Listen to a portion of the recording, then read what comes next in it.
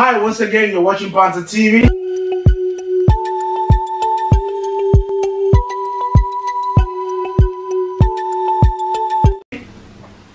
Today I'm here with one of the most outstanding individual, one, one of the most intellectual and one of the most uh, amazing person I've known for the past five years.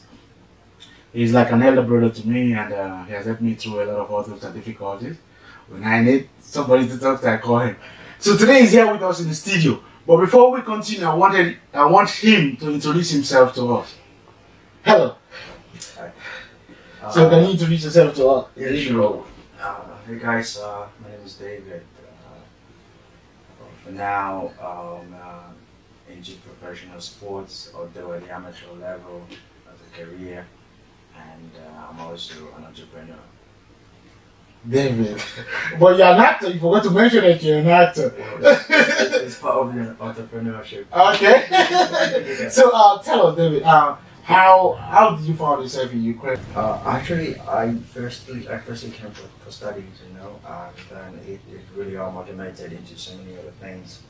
Uh, and I found myself in the world of uh, sports, uh, acting, modeling, uh, and, and business lately. So, Okay.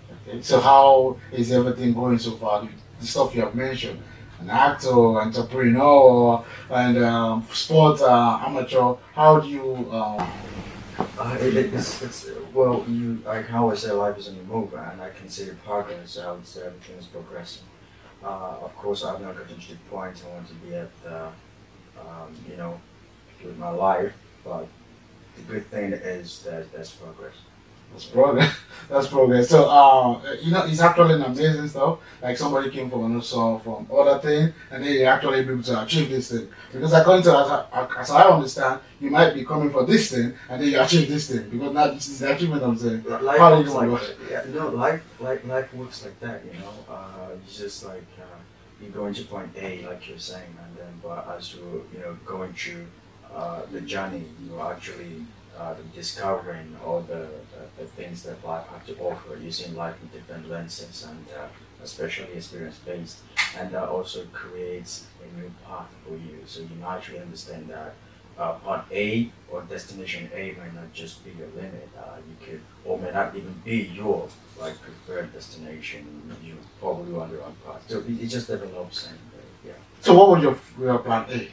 If it's, a, if it's not a secret, No, I, I, I came here to study uh, medicine. medicine. Yeah. So now a medical doctor, if you happen to be a medical doctor, right, or you are a medical doctor, yeah, I should, I would say most bodybuilder, most intelligent individual. But let's talk about what f- favorite career you have right now that you think you love. Uh, well, sport has always been a big hobby, right? Uh, but the thing is, uh, I also see it as a means business. So, in that regard, I'll put I'll put you know sports first. But also going back to the analogy we had earlier Mhm. of uh, you know following a path and then Yeah. discovering another path. Mhm. I, I would say really business is taking me on a while right now. Uh, I'm really enjoying that. Yeah. you know, uh, listen, is it because of the lockdown? That's why businesses is one of your your favorite right now. Oh, many, many people don't know that, but I've been, I've been into business like before the lockdown. I've, I've, I've been officially three years in business now. Wow. Yeah, so yes, I've cracked it. I've cracked it, um, and, uh, and uh, I'm, I'm in the process. Okay. And uh, um, like I was saying, how did you balance both of all this career? Because now I notice that you love um, the business so much. So imagine like now you are a sport person and you are becoming an entertainer as well in a modeling agency and a film as well. So before we talk about your film, I want you to tell me how can you balance both right now? um, you don't see that's work. I don't see that's work. Um, sometimes you basically have to be up, up and running 16, 18 hours a day. But if you really enjoy it, like I do, uh, I really don't see working. Uh, and my body adjusts to it as well. So it's not really a question of uh, balancing it like uh, it's too difficult for me. It's really not. I'm having a hell of a good time. So let, let's do this right. If you are being asked right now, what is the most difficult? Is you working for, working for somebody, or doing what you love? What is more difficult? Which are both of something you approve or you love so much to do. So let's say you've been working for people so much, right? And then these two things when is the other thing. What do you think is the most amazing thing? Uh, Am I not asking the question correct? No, no, I get point. I get the point, honestly. Like, uh, working for my goal. like from nine to five, Yeah. nine to five, and all this thing. Which one is more difficult? You see, there's a problem here. Uh, This is a conundrum, let's say. Uh, working for someone is basically uh, it means to get to the level where I want to have people working for So me. it's like a capital. Exactly. So kind of like I, I see that working for someone as as a means to an end, and the end is actually the ultimate goal. Having an organization that uh, is systemized and working on its own and under me, and then for me, like developing a source of uh, a passive or steady, consistent uh, passive income for myself.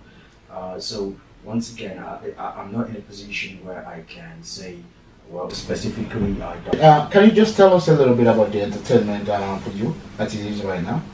Mm, How do you mean? Like, um, describe um, how, what difficulties you face in through entertainment. Uh, well, once again, I enjoy it, uh, but you know the challenge you, you have there is time. Uh, if you're talking about movies, for example, you have to find a good agency. Uh, the good thing is we have uh, almost students or most foreigners here work through Planta agency, uh, which is pretty good, or makes it easier to bridge the gap between the, the, the uh, casting and all of that.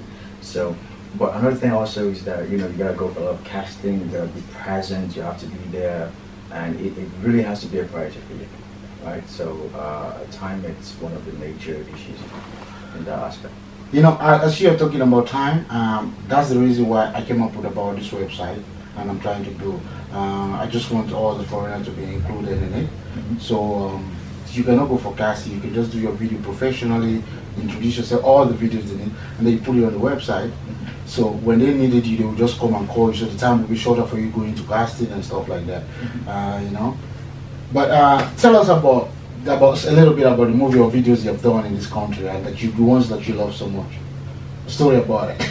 Yeah, I've actually I have uh, enjoyed uh, most of the story uh, behind like uh, some of my work.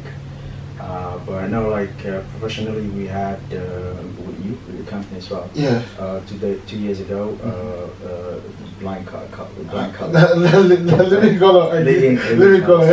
I'm sorry about that.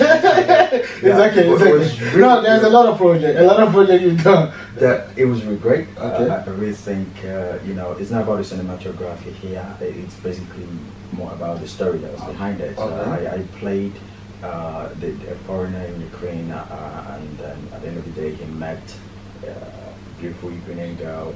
You know, go into a relationship with her, and then has to you know go back and forth with uh, the racist boy ex-boyfriend Okay.